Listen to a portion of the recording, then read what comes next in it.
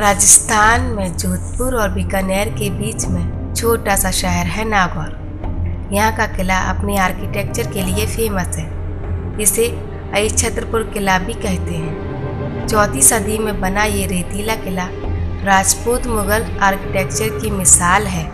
उस समय नागौर पर मुगलों का राज था। नागौर किले का इतिहास महाभारत से भी जुड़ा हुआ है। पौराणिक मान्यताओं के मुताबिक अक्षत्रपुर किला अर्जुन द्वारा जीता गया था, जिसे अर्जुन ने अपने गुरु द्रोणाचार्य को भेंट में दिया था। ये किला वास्तुशास्त्र को ध्यान में रखकर डिज़ाइन किया गया था। इस किले की सीमा 5000 फीट लंबी है। आइए जानते हैं इसकी कहानी।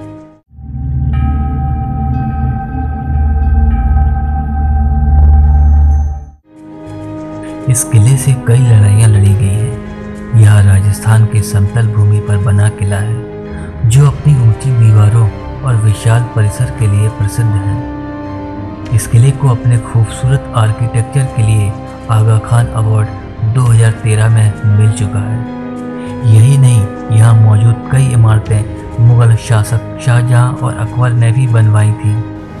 इस किले के अंदर खूबसूरत चार बड़े महल हैं, जिनमें भक्त सिंह महल, अकबरी महल, दीपक महल और हांडी रानी महल शामिल हैं। ये महल 17 से 19वीं सदी के बने हुए हैं। इनकी दीवारों पर खूबसूरत पेंटिंग्स हैं, जो राग रागनी, महिलाओं की जीवन शैली, मौसम और पेड़ पौधों को दर्शाती हैं। हांडी रानी महल की बात करें तो इस महल की दीवारों और छत पर महारानी हांडी रानी के खूबसूरत चित्र बने हैं। वहीं भक्त सिंह महल में इसके इतिहास से जुड़ी साजिश शामिल है, लेकिन यह भी एक खूबसूरत महल है। ये महल भक्त सिंह को अपने पिता की हत्या करने पर तोहफे में मिला था।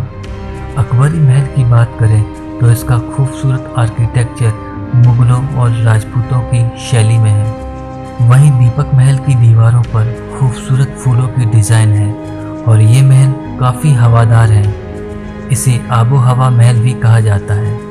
मुगल गार्डन और फव्वारे इसकी खूबसूरती बढ़ाते हैं। इस किले में नब्बे फव्वारे और एक खूबसूरत मुगल गार्डन है। इस किले में कई मंदिर और मस्जिद हैं, जिनमें ज़्यादातर कृष्ण और गणेश भगवान के मंदिर हैं। यहाँ पाँच गुंबद वाली मस्जिद भी है, जो मुगल शासक अकबर ने बनवाई थी।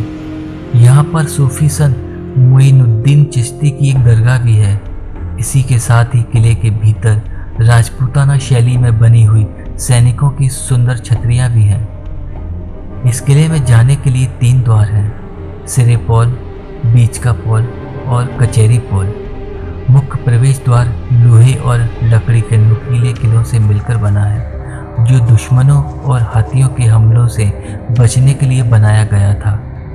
ये राजस्थान का ऐसा किला है, जो समतल ज़मीन पर बना है।